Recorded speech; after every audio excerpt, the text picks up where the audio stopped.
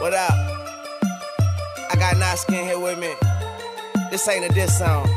But um, yeah, uh-huh, you know what it is. I'm a cheesehead, y'all niggas cheese whiz. Pittsburgh Steelers, that's nothing.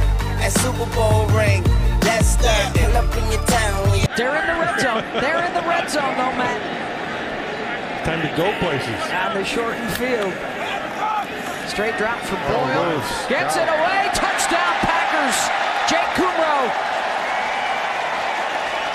Got by Nick Nelson.